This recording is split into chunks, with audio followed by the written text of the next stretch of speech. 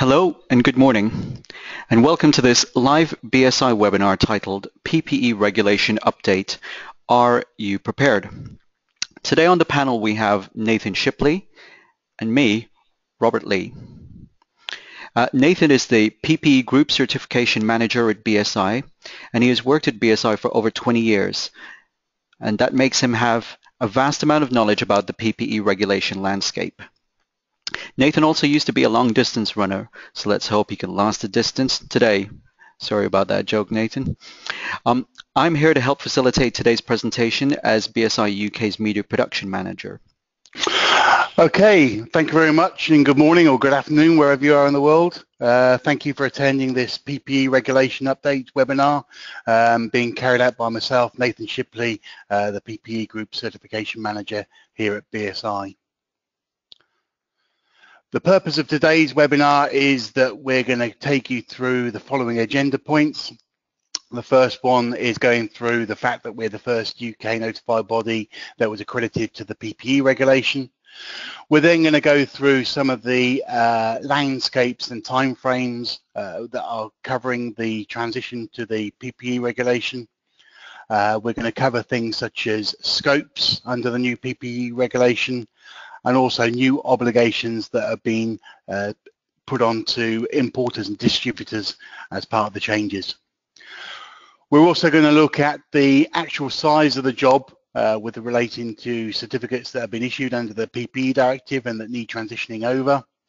We're also going to go through a series of clarifications that have come through and come to light since the regulation uh, has been published back in 2016. We're then going to go through with a summary and then we're going to have a option where we can answer some questions that you may have and then we're going to go through some future events that we're going to be running in 2017 uh, and that we can discuss and talk about these changes to you. So if we're going to run another poll, um, so over to you, Rob. Okay, thanks a lot, Nathan. This poll asks the question, which of these apply to your business? Are you a manufacturer, a distributor, an importer, uh, an, another type of organization, for example, a trade body, or perhaps you're a combination of some or all of the above? So it seems that a substantial amount of your manufacturers, that's 53%, uh, we don't have any distribu distributors on the line today, uh, importers 7, and we do have other types of trade bodies and also combinations of some of the above too. Okay, now I'm just going to hand you back over to Nathan. Okay, so BSI um, was the first UK notified body to be listed on the NANDO website for the uh, PPE regulation. Um,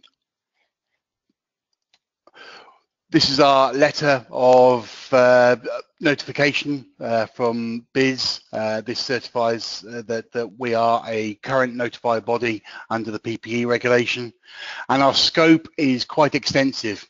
Uh, we have a range of products uh, that we can certify to Module B, Module C2 and Module D of the new PPE regulation and it does act very similar to the um, scope that we held under the PPE directive. So it includes things such as buoyancy aids, eye protection and face protection, uh, head and hearing protection, gloves, hand protection, leg protection, uh, firefighters protection.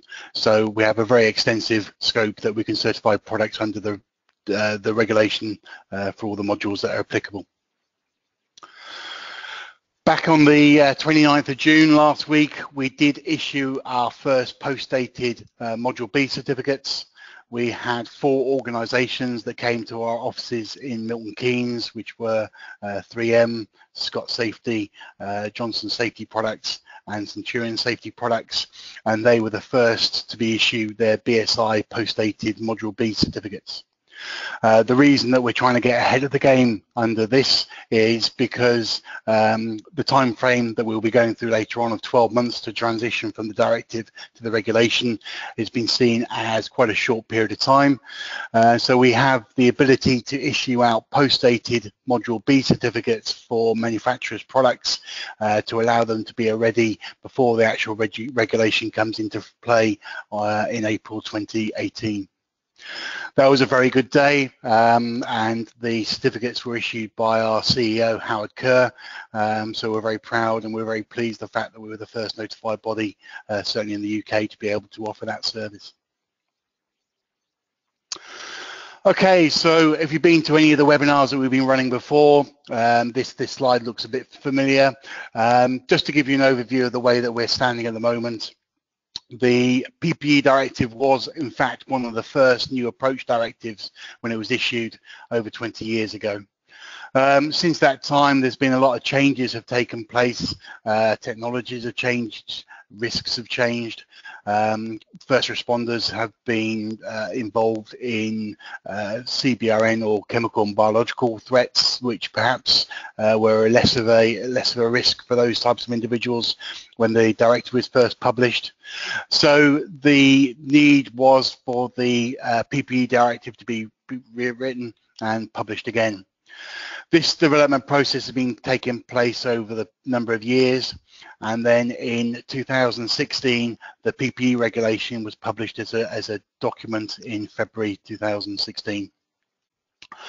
That then gave a period of transition for notified bodies and uh, member states to get and adopt that regulation within their national frameworks and BSI went through that process and received its certification and listing on NANDO, uh, NANDO back in April 2017. We then start this transition period of 12 months throughout 2018 and then from 2019 onwards the PPE regulation only will apply. Okay, so this slide here gives you a series of um, Gantt chart, if you like, of the way that these periods are working. So the regulation was first published on the 12th of February then listed in the OJ 20 days later. And then that started off the transition period to allow member states and notified bodies to become accredited and listed on the NANDO website uh, under the PPE regulation. Under that time frame, uh, the notified bodies and the member states will all work to the PPE directive and then we come to April 2018 uh, when the regulation applies. This will then kick off the 12-month changeover period, um, in which case manufacturers need to get their products certified uh, from the old PPE directive under the new regulation. Once we get to the end in uh, 2019, all certifications, new certifications need to be to the PPE regulation though any uh, Article 10 certificates for products that are in the supply chain can be held valid unless they have an invalidity date beforehand up until the 21st of April 2023. 23. So those are some of these, these are some of the key dates that we're talking about. Uh, from the 21st of April 2018, the PPE directive is effectively repealed. From that date, the 21st of April 2018, the PPE regulation shall apply.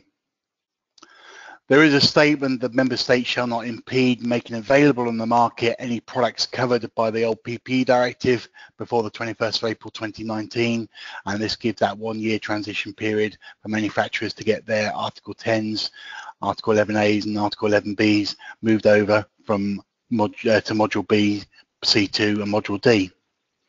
And then again, it's written in there with the regulation that any uh, PPE directive certificates that do not have a expiration date beforehand will become valid or remain valid until 21st of April 2023. Okay, so as with the old PPE directive, the regulation does have a specific scope. Um, the scope for the PPE regulation is that it covers all types of PPE. And there are three types of different categorizations or definitions as to what PPE means. So very similar to the PPE directive, the first requirement or the first definition is that PPE is equipment that's designed and manufactured to be worn or held by a person for protection against one or more risk to that person's health or safety, which is taken very much by wording um, under the old PPE directive. It also has a further definition of interchangeable components for equipment referred to in point A that are essential for its protective function. So this could be something such as a particulate or gas or combined filter. The actual filter itself doesn't offer an individual protection, but when fitted to a half mask or a full face mask means that that product can act as a, as a proper piece of PPE. The third definition is that any connection system for equipment referred to in point A that are not held or worn by a person that are designed to connect to that equipment to an external device or to a reliable anchorage point that are not designed to be permanently fitted, uh, fixed and that do not require fastening works before use are covered and deemed as PPE. So this will cover things such as tripods uh, used in fall arrest uh, for entry into uh, confined spaces, that type of thing, and it brings those into the scope of the PPE regulation. One thing that also needs to be noted is that any products such as medical devices um, that are also deemed as PPE, so things such as uh, examination gloves possibly, uh, should be covered by both regulations and must comply fully with the PPE requirements. This is something that's been brought in uh, after the medical devices directive, uh, which is also going through a period of transition, was amended back in 2010.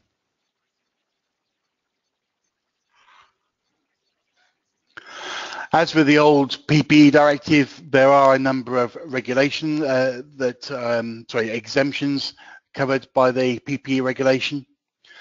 Uh, the regulation does not apply to PPE that is specifically designed for use by the armed forces or in the maintenance of law and order. PPE that's designed to be used for self-defense with the exception of PPE intended for sporting activities. So this could cover things such as rape alarms or possibly mace sprays, those types of things. Uh, PPE that's designed for private use to protect against atmosphere, uh, atmospheric conditions that are not of an extreme nature, uh, damp and water during dishwashing.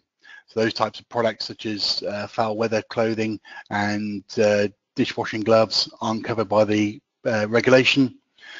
And also PPE used on seagoing vessels or aircraft are not covered. They're covered by their own uh, regulatory requirements, such as the Marine Equipment Directive, uh, if the products can be used onto a, onto a ship. And again, under the PPE regulation, helmets and their visors for drivers and passengers of motorcycles and mopeds are not covered under the regulation. They'll be covered by their own um, unique uh, road traffic laws. Right, we're now going to move on to another poll. Thanks a lot, Nathan. Um, this poll now asks the question, how many products do you have which the PPE regulation applies to? So we're just going to launch that now. Can you let us know how many products do you have which the PPE regulation applies to? Uh, is it 1 to 5, 6 to 10, 11 to 20, 21 plus, or you don't know? Okay, so 26% of you have 1 to 5, 14% uh, have 6 to 10, 9% 11 to 20 products, and substantial amount with 21 plus products. There, there is almost 30% of you who don't know, so I, am not sure whether that's concerning or not, but um, we're now going to hide the poll and uh, pass you back over to Nathan.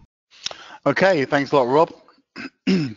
okay, so just to go through some of the certificate structures uh, and the way that the regulation and the directive are changing.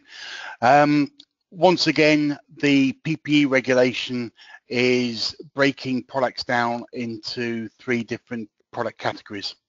Um, they are, we'll go into these into a little bit more detail later on, um, but they are very similar to the old PPE directive in that you have a simple category PPE, um, the activity of placing products that fall within the simple category PPE is effectively a manufacturer's self-declaration under the old PPE directive. Um, it's a manufacturer self-declaration again under the new regulation, uh, so it does not require any specific notified body involvement, and that will be covered under what's known as Module A or Annex 4 of the PPE regulation. For intermediate and complex PPE products, uh, the initial process of placing products onto the market under the old directive was covered under Article 10 of the PPE uh, directive. This is now going to be known as Module B or Annex 5 under the EU and issue you with an EU type examination certificate under the PPE regulations.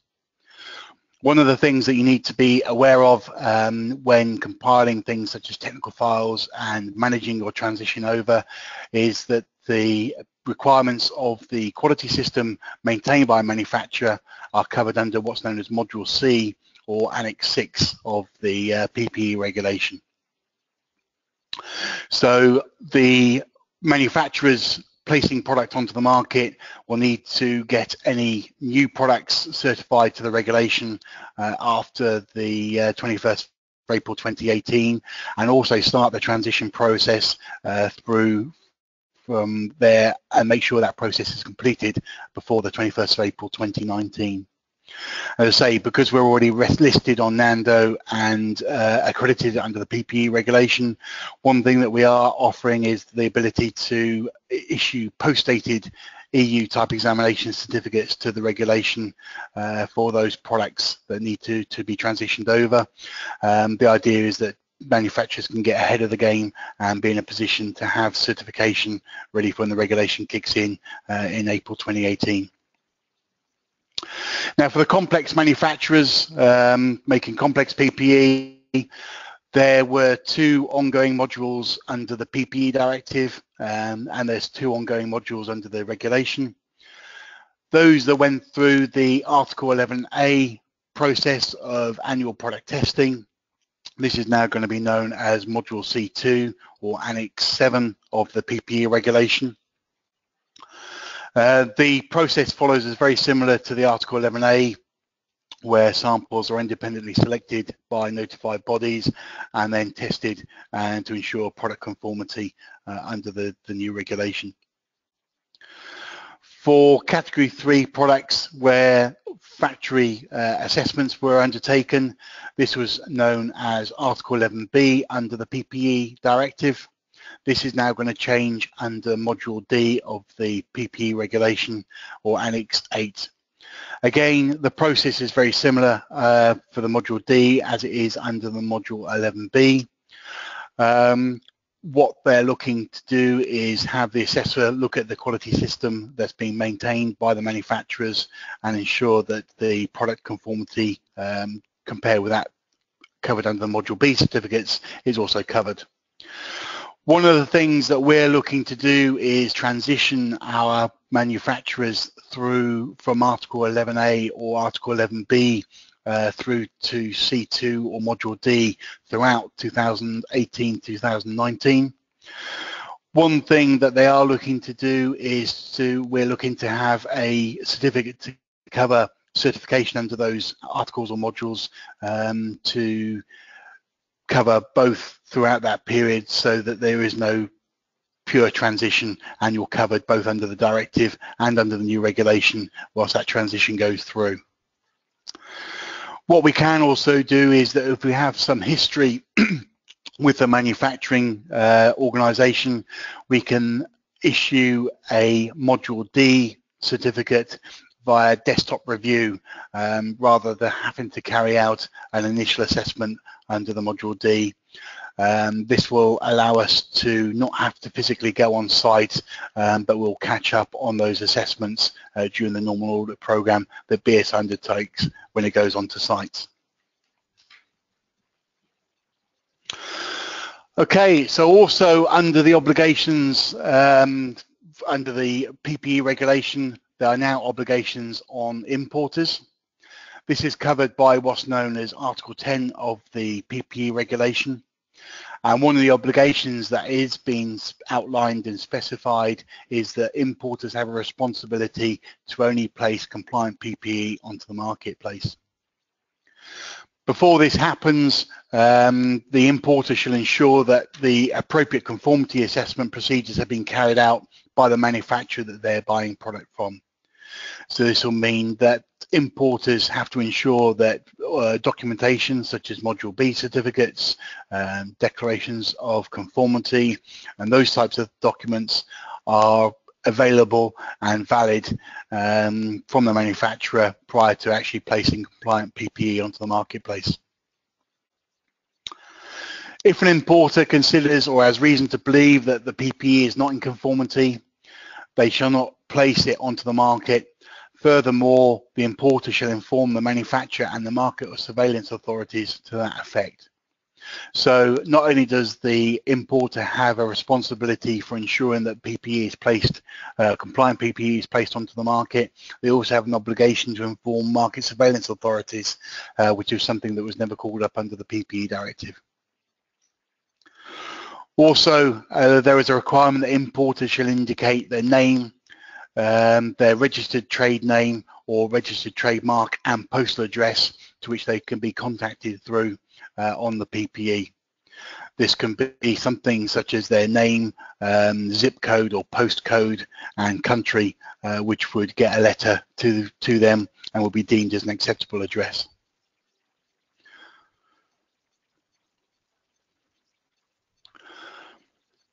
Also, importers should ensure that any PPE within their responsibility, uh, storage and transportation conditions that they're using do not jeopardize its conformity. So not only do they have a responsibility for ensuring the conformity uh, of the PPE is valid, but they also need to ensure that they have an infrastructure in the logistics chain that ensures that the PPE conform, uh, condition isn't jeopardized uh, prior to being received by an end user. Importers also need to keep for a period of 10 years after the PPE has been placed onto the market a copy of the EU Declaration of Conformity at the disposal of the market surveillance authorities and ensure that the technical documentation can be made available to those authorities upon request. So whereas before importers didn't need to keep those kind of documents available, now they have a, an obligation for keeping those for 10 years from that product has been placed onto the market. Also, importers shall further to a reasoned request from a competent authority provide it with all the information and documentation in paper or electronic form necessary to demonstrate the conformity of the PPE in a language that can be easily understood by that authority. So really you need things such as declarations of conformity and Module B certificates and possibly Module C2 and D certificates uh, to prove that the product complies.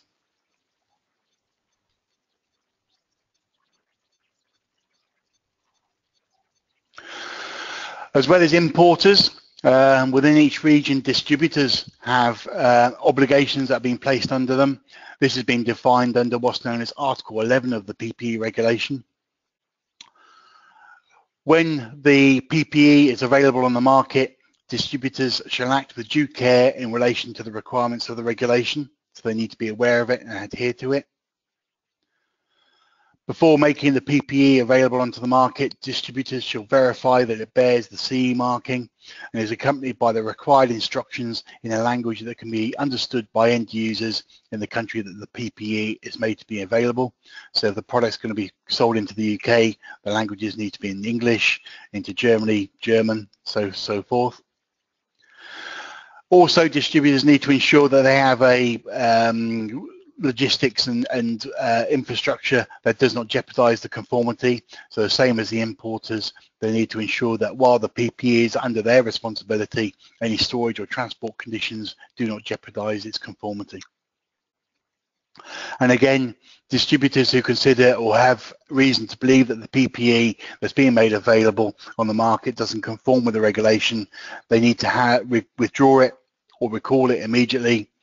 Furthermore, uh, where PPE presents a risk, distributors shall immediately inform the competent national authorities giving details in particular of the non-conformity and any corrective action measures that have been taken. So again, even further down the supply chain, uh, distributors have a part to play under the regulation and uh, need to be able to uh, identify competent and conforming PPE uh, when it's being placed on there and being used by end users.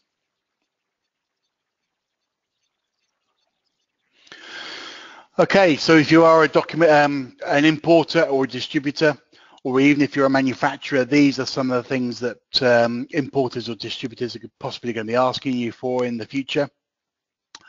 So what do these, these guys need? They're going to need a copy of the manufacturer's Module B EU type examination certificate. They need a copy of the EU Declaration of Conformity for the product um, that they're handling in the official language of the country that the PPE is going to be made available. The importer and distributor needs to ensure that the user instructions are in the official language for the country which the PPE is being made available. And also the importers and distributors need to hold these records for at least 10 years.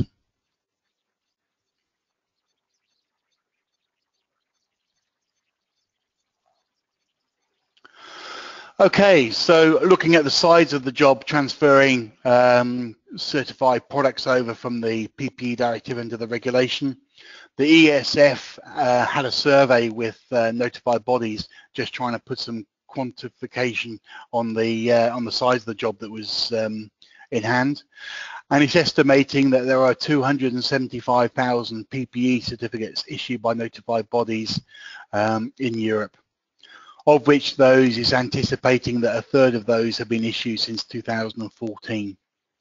So that's a large number of Article 10 certificates for products that have been out there in the marketplace. Even from a BSI perspective, um, we've issued out 1,945 Article 10 certificates.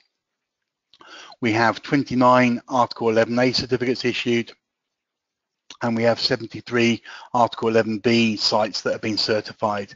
So for one notified body, we have over 2,000 documents and sites that are um, that have been issued over the last 20 years.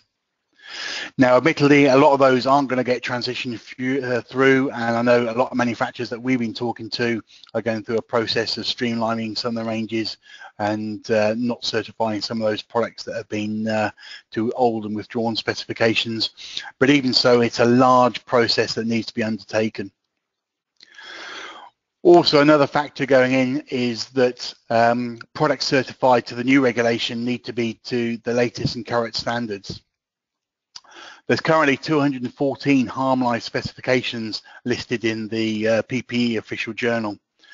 Um, of those, 89 have been uh, issued after 2014, which means that uh, over half are over five years old. So we may be going through some process of review, reissue, and those types of things which manufacturers need to be aware of um, when transitioning products through.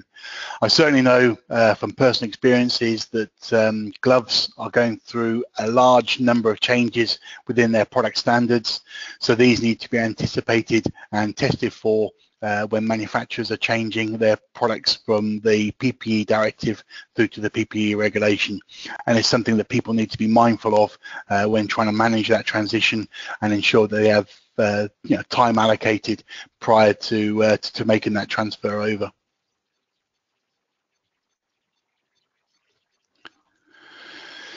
As I said before, uh, one of the solutions is that um, initially the transfer over from the directive to the regulation was pretty much being penned in from uh, 21st of April 2018 to the 21st of April 2019. To try and increase this notified bodies that have been accredited and listed on the NANDO site can issue what's known as post-dated Module B EU type examination certificates. So the idea is that we can issue out a Module B EU type examination certificate that becomes valid uh, from the 21st of April 2018. The idea is that this will allow a transition period of almost up to a year to be added on to uh, and onto the changes. It will allow manufacturers to uh, get ahead of the game. Any products certified must be to the latest standards. Um, so if you've got some safety eyewear that's to uh, EN 166 1995 or to some of the older glove standards, then they need to be updated to the latest specifications. And the five-year validity will start from the 21st of April 2018. So the BSI Module B certificates that you saw the uh, the photograph of and a couple of earlier ones, um, they will be valid from the 21st of April 2018 and have a validity until the 21st of April 2023.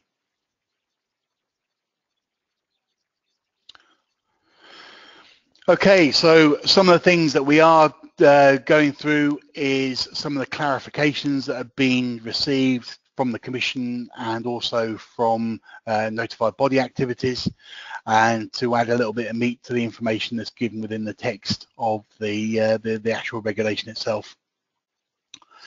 Okay, so there's been some discussions as to um, when the PPE purely um, can be applied. And really the cut-off date that we're looking to work to is the 21st of April 2019 so this will be the end of the transition from uh, uh, 2018 to 2019 so unless a product is actually in the supply chain uh, post 21st of April 2019 it must be uh, made available certified under the PPE regulation um, so what the definition of within the supply chain is really down to what the manufacturers can can do. I know some large uh, global organizations that we deal with um, have sort of purchasing agreements internally, um, but unless the product is within within the sort of supply chain post 2019 April, uh, then it must be certified under the PPE regulation. One of the new uh, requirements under the regulation is the categorization of what's known as design calculations. Uh, these have been inserted in there, but what we are taking the stance on is that design calculations do not need to be included within the technical file if uh, the product has been tested and meets the requirements of a harmonized specification. They can still be used with some uh, technical specification and approved products, and they can be useful with products such as high visibility clothing, where a thing such as uh, surface area can be tested on the smallest uh, available product, and then calculations can be used to prove that larger uh, larger supply goods or garments will still comply with the uh, the relevant standard. So they do have their place, uh, but I think for the run-of-the-mill, or the, you know, most of the time, if the product's been tested to a harmonized specification, then the manufacturer can admit to using uh, design calculations as part of their technical file.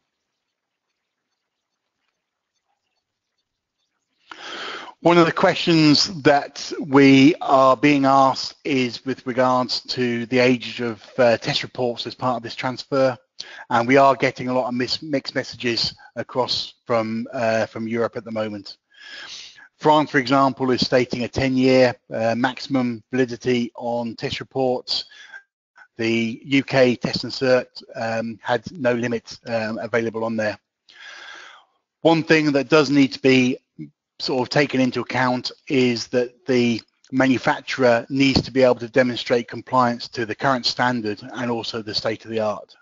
So what I would say is that although BSI is uh, coming in line with the UK interpretation, where we're not putting a specific time, time, time limit onto uh, test reports as part of this transfer, what you do need to be, be able to do is be able to demonstrate that the product meets the requirements of the current standards and also that you know the, the product test reports that you have reflect the product that's been made in the state as it is today. So those factors need to be taken into account and really dealt with on a case-by-case -case basis. One of the things is that for category three uh, PPE products, Article 10 certificates need to have a, a valid Article 11A or Article 11B certification. Module Bs need to have a Module C2 or a Module D certification the way that BSI is looking to manage that change is that we're going to have desktop reviews to run and change the Article 11As to 11Bs to Module C2 or Module Ds and also look to have a joint certification to cover um, both certifications to the PPE directive and to the regulation. So there'll be a continuous um, loop of certificates allowing manufacturers to place products onto the market unhindered. As I say, if you currently have a module, uh, sorry, an Article 11A or 11B with us, we can cover that and decide whether you want to transfer at your next assessment or product test, or if you want to go down the desktop route and have something in, in place uh, from, from day one.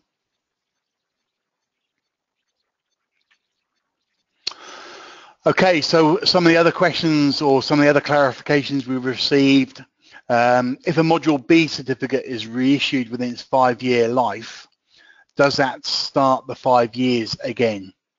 The response that we've had from Europe from this one is no, uh, unless there is a fundamental change to the way that the product is made or its design or its performance or, um, or a standard change, the five-year validity will not be affected by any certificate reissues uh, throughout that period of time.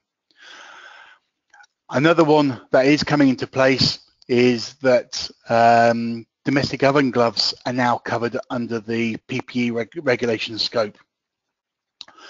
There was some question with regards to the classification of product uh, that this will fall under. Uh, this has been finally defined as what's known as category 2 or intermediate PPE. There is no current harmonized specification for oven gloves. there is a BS specification that is available. Um, so manufacturers could certify the product to a specification using things from current glove standards such as EN 420 or EN 407 for um, thermal protection. Um, but we can sort of discuss that with, um, you know, on a one-to-one -one basis uh, and cover those to get those certified under the uh, under the PPE regulations. Okay, uh, that leads us on to our third um, poll. So I'll hand you back over to Rob.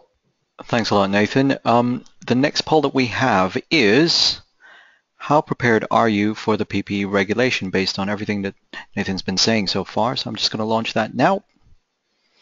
Um, please do select one. 0 to 25% is how prepared you feel you are, 26 to 50%, 51 to 75, 76 to 100%, or I, I don't know. So the results are in and the preparedness uh, for some people is 22% for 0 to 25%, 17% for those who think you're coming up between a quarter and a halfway there. 17% uh, of you think you're between halfway there and three quarters of the way there. And 11% say that you're sort of three quarters of the way to, to pretty much nearly ready for it. Um, there's a staggering amount of you who say that you just don't know at the minute. So uh, um, we'll just hide that poll and pass you back over to Nathan. Okay, thanks a lot for that, Rob. Okay, so just to run through um, some of the summaries that um, are going through with regards to the uh, PPE regulation. Uh, the PPE regulation EU 2016-425 was now being published, was published early on in 2016. We're in the process of going through that changeover almost halfway through, so we have uh, less than less than 12 months before the, uh, the, the regulation itself starts coming in. After April 2019, only PPE regulation approved PPE can be issued into the uh, European market. The regulation itself does have some specific scope and exclusions, and we've gone through those. There are some changes to some of the module names. Uh, so you have the old Article 10, Article 11A, Article 11B. These are now being replaced by Module B, C2, Module D. There are some changes to the product categorization. Um, some products such as life jackets and hearing protection which was covered under uh, module, uh, sorry, intermediate category two is moving into category three. So in those instances, those manufacturers need to have uh, some form of ongoing surveillance in place before 21st of April 2019. There's a requirement that a declaration of conformity or at least a web link is available on the user instructions with each product that is being supplied by a manufacturer. There are now very specific requirements for distributors and importers, and they have obligations whereby if they feel that uh, non-conforming PPE uh, is reported to the national authorities if they come into contact with that. Bespoke PPE um, is covered by the uh, PPE regulations specifically. So this covers things such as prescription spectacles, custom-made hearing protection or one-offs. There is a validity of five years uh, for the EU type examination certificates that are issued under the regulation and that five-year validity doesn't change even if the certificate is up issued within that five-year time frame. And I say just below is the Gantt chart um, showing what the various activities are and the timeframes that are uh, that are required to and be adhered to uh, throughout the course of the regulation changes. Okay, so um, do we have any questions at all coming through from the uh, from from the attendees? So uh, one of the first questions that we have, Nathan, is um, shall we show postal address of manufacturers on the marking? There is a requirement under the regulation that the um, manufacturer, the importer need to place their sort of name, trademark, um, postal address onto the product itself. We have been getting some clarifications on that as to what an address is and the um, approach is very similar to the directive in that the address can be deemed as something that could get a letter to that organisation.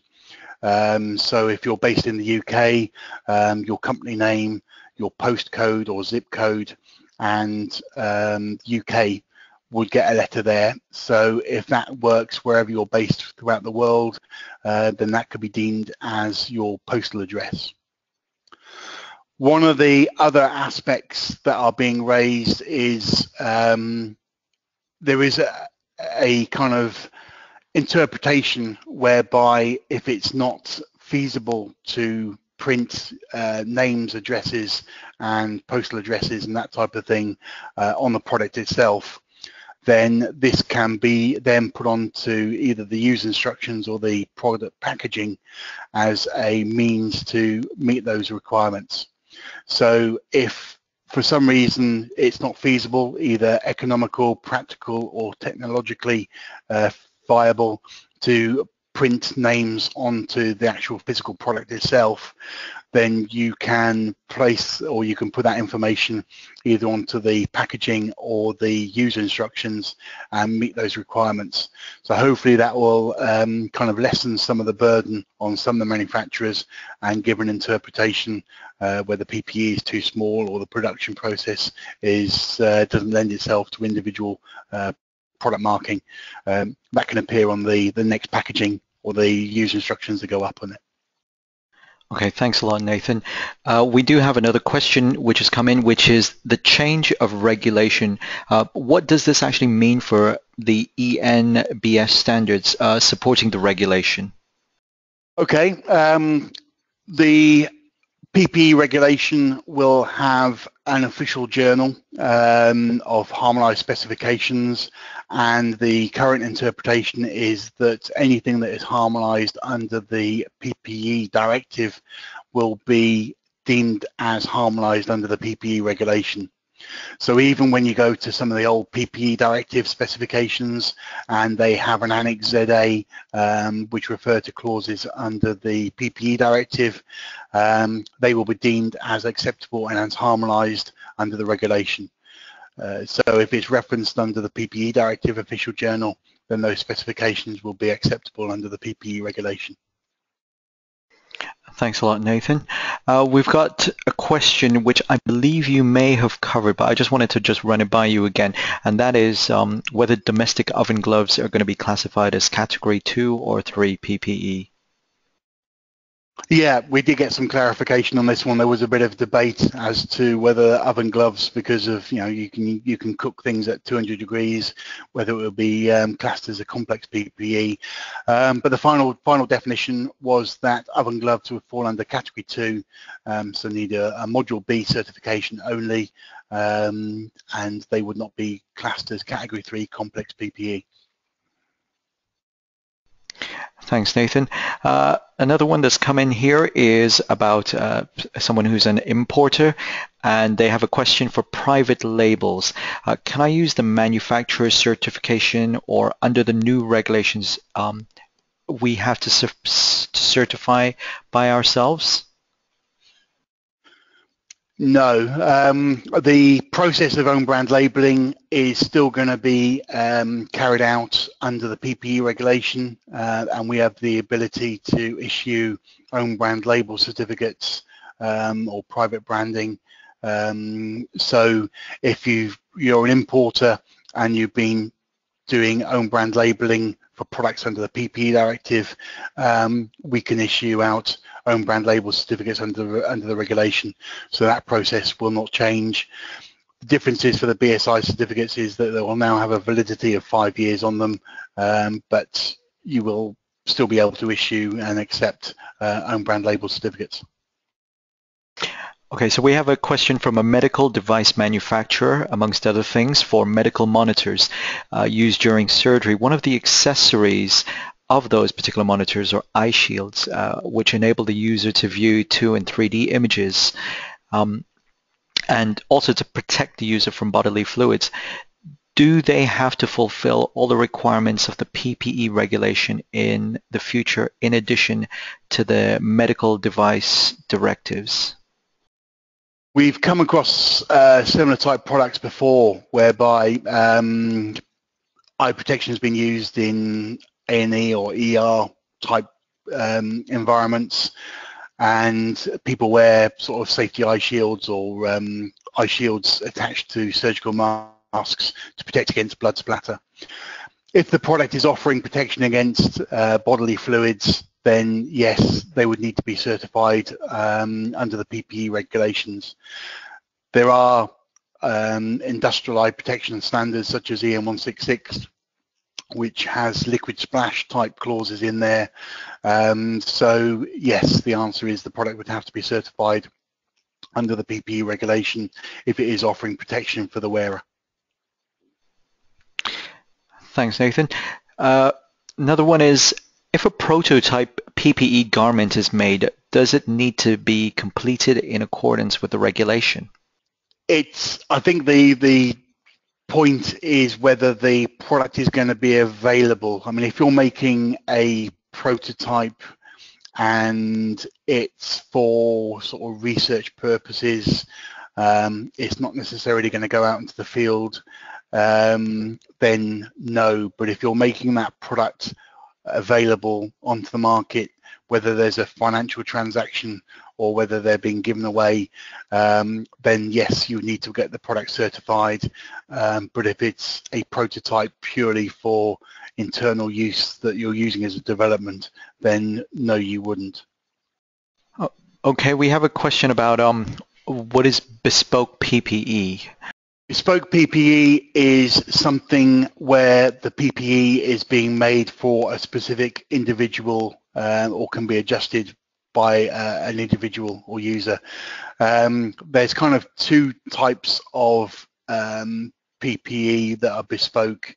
One is where it's made off as a, as a one-off. Um, things such as that would be things like prescription safety eyewear, um, where you go into an optometrist and you get a pair of glasses made that are safety, um, but they're made to you as a specific prescription power or the other type of thing it would be something like custom molded hearing protection uh, where you go into a an audiologist and you get a molding impression made from your ears and um, they you know they, they create a specific earplug for you, for you. Um, the other types would be um, for something such as a um, you have a firefighter that's the size of Goliath and you have to make him a specific tunic and, and, and pair of trousers where you're making them as a, as a one-off. So it really is any type of PPE which is being made for a specific individual user or end user. Thanks, Nathan. Uh, another one is, is is e-user info acceptable instead of inserting a hard copy user information together with the uh, PPE? I'm assuming from this you're talking electronic um, type information. Unfortunately, no. Um, the regulation does require hard copies of user instructions to be supplied with the um, with the PPE. You can use a web link for the declarations of conformity um, to be supplied electronically, but a hard copy of user instructions still needs to be applied or supplied with the product under the regulation. Okay, the next one is um, I'd like to know for examination gloves uh, PPE, would the approval be via desktop assessment or would it be subject to a site audit?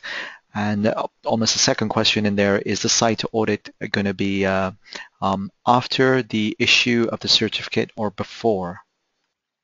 For a set of exam gloves um, that are offering protection against microorganisms, they will be complex PPE, um, so they need to be tested. Um, and one of my colleagues, Kinga Demetrio, has done a, a blog uh, listing the, the various standards that are available on the BSI website, which is very useful to, to download. Um, so there would need to be product testing involved, um, or if you have that product, then a review of that data, and then a technical file review. Because they will be complex PPE, then yes, some form of ongoing surveillance would need to be undertaken. Um, if the manufacturer has their own QA system in place and they want to go down the Article 11B or the Module D route, um, then those processes would need to be run in parallel with the product certification aspect. Um, if the manufacturer wants to go down the module C2 route, which is annual product testing, um, we can start that process uh, nine months from when the module B certificate has been issued.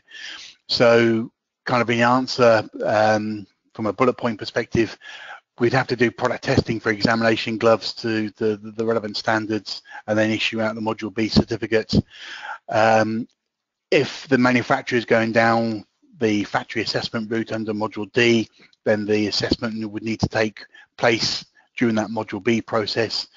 If the manufacturer goes down the Module C2, C2 route, um, we can issue out the Module B and then follow up with the Module C2 testing between 9 and 12 months after that Module B certificate's been issued. Thanks, Nathan. Uh, we're going to take a few more questions, but we're going to have to wrap it up just to um, just after 11. So one of those questions is, can we start testing our products prior to Module D certification? Yes, I mean you can start product if you have a a um, portfolio of products and some are um, to withdrawn specifications, then yes, you can start testing straight away to try and get those up to the latest specifications. So my advice to any manufacturer is if you have old withdrawn product standards, then get them updated ASAP. Thanks, Nathan. Uh, we have a question about standard. Does the new EN 374 regulation need to be covered by April 2018? Yes, they do. As I say in my previous response, um, we have a very good glove guide um, on the BSI website, which you can download and gives you the full list of product standards. Um, but yes, the uh, EN374 Part 3 has uh, been superseded and there is now the EN374 Part 4 that need to be um, complied with uh, prior to the regulation. So it, I feel for glove manufacturers, and there's there's a lot of changes going on, uh, but those changes need to be done before the regulation kicks in. Okay, we're going to go with two more final questions. Uh, one is following up on the importer postal address on the packaging leaflet. When does that come into effect? Um, as in the product being placed onto the EU market um, 2018 of April or sorry, beg your pardon, as in the product being placed on the EU market in April 2018 or April 2019? Effectively, that needs to happen once the product has been certified to the regulation and is claiming compliance to the regulation. So it'll be at that point between 21st of April 2018 and 2019 when the product is going out there as compliant to the PPE regulation, then the importers and the manufacturer's uh, name and address need to appear on there. So as soon as you're claiming compliance to the regulation, uh, addresses need to appear on the product or at least on the next um, you know, sort of user instructions or packaging if that's not viable. We have a question here about the clause um, stated about the transfer of the PPE obligation of manufacturers to importers slash distributors if the importer or distributor change the product to their brand trademark. Does this mean that the importer or distributor need to retest and reapply the product with notified body um, despite that product having been certified through the manufacturer's application? If you're talking about the same sort of scenario as you are with own brand labeling um, and you know the, the, the manufacturer at source is happy for own brand labeling to take place, then no, um, as long as they're allowed to allow their intellectual property or the, you know, their test reports and that type of thing um, to be used. So as long as they're, they're happy for sharing intellectual property, then no, there shouldn't be any need for retesting. Okay, I guess that is it. Um, I'm afraid we're going to have to wrap it up there, uh, Nathan. Um, Obviously, we've got lots and lots of questions from everyone who's joined us today. We haven't been able to get through all of them, I'm afraid, but we are going to um, try to answer those questions later on when we collate all of the results from, from the webinar. Um, what I'd like to say is that just before the end of the webinar, sorry, I uh, beg your pardon, just once the webinar closes, there is going to be a short survey which will ask you a few questions about um, the webinar itself, the content, the pace, and and and how you felt the quality of of it was. Um, in there is a comments box as well. So if you have any further questions that you'd like to ask us, please do feel free to do so in that comments area. Um, finally, I'd also like to draw your attention to the handout that we've been we've made available. It should be in your panel area, so I'll just give you a second to try and go in there to, to download it. And um, I gather Nathan wants to say something else.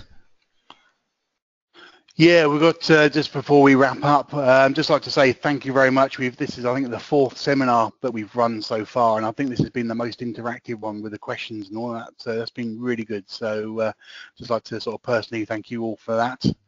Um, we do have some future events uh, timetabled as well. Um, on the 7th of September this year, we're looking at running a um, for webinar on technical files to the PP regulation. Um, it's going to be very um, in detail technical um, and based very heavily on the seminar, successful seminar that we ran uh, back in May in our UK offices and it's learning on how to get your technical files up to speed prior to the, uh, the, the documentation changes. Um, we're also going to be showing at the A plus A show in Dusseldorf uh, between the 17th and 20th of October 2017. We're going to be in Hall 11, um, stand C42. Um, so that's where we're going to be there so we can talk to one of our experts. The full team are going to be out there in that one. Um, and if you have any other information that you want to sort of get from us, here's our contact details um, that you can uh, you can you can email, phone, or visit the BSI website. Thanks a lot, Nathan. Um, just to also let you know that we're going to try and make these slides, I, I gather, available to you um, later on too. And we're also going to see if we can try and get a, a, a video recording of this as well to, to share with you later. Um, so without further ado, I'd just like to wrap the webinar up now and say thank you very much for joining us. And uh, we hope to see you soon. Thank you.